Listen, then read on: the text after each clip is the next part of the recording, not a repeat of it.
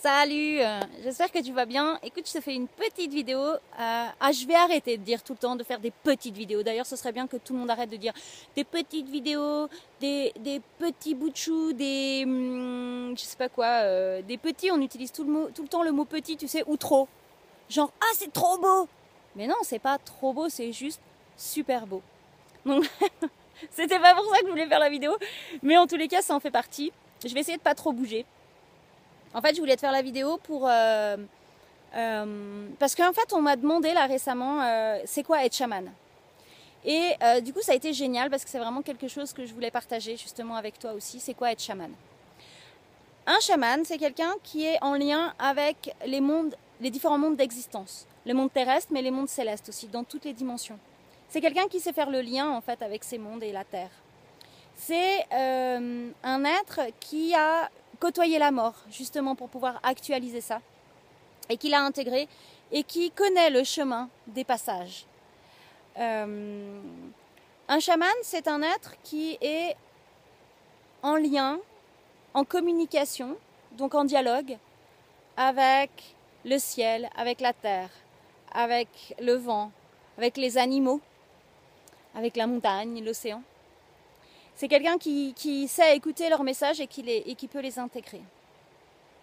Un chaman, c'est celui qui a la voix ouverte et qui laisse libre euh, le son, le son ou les mots.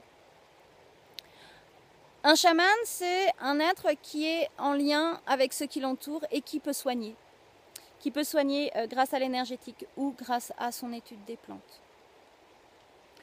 Euh, un chaman, c'est un être qui accepte son incarnation pour aider pleinement, qui accepte de euh, être dénué d'ego, ou en tous les cas sur le chemin pour l'être, afin de pouvoir euh, être simplement canal.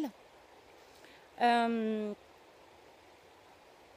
chaman a un pouvoir d'expression fort dans la matière, à travers la peinture, à travers les mots.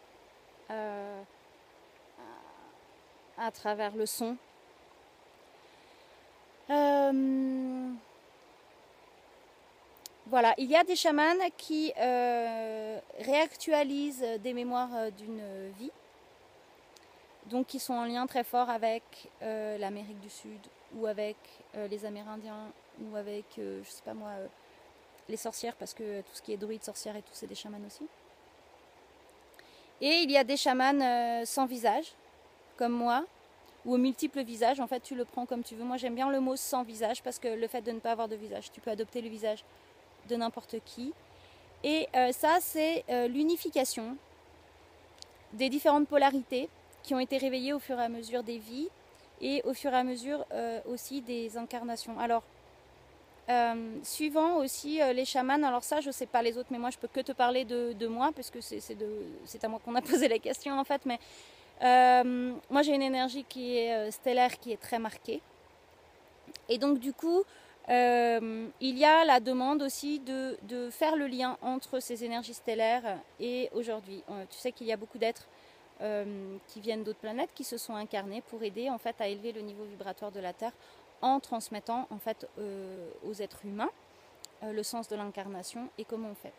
Et du coup, je fais partie de ces gens-là et surtout, je fais partie des êtres qui ont été envoyés pour expliquer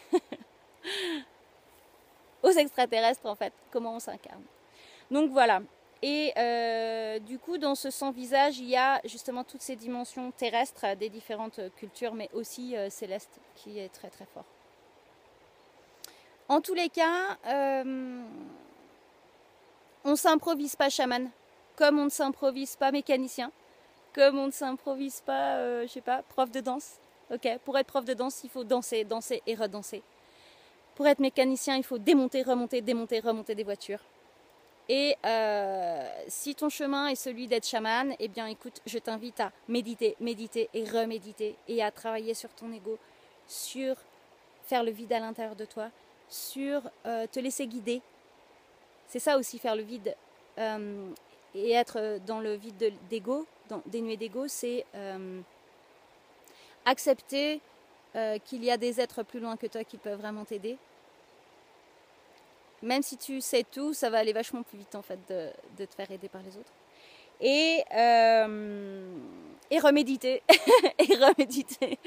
Quand je parle de méditation, c'est euh, voilà, être en contemplation face à la montagne, communiquer avec l'océan, faire des voyages astro. Enfin voilà, c'est ça aussi, méditer, hein, c'est tout ça.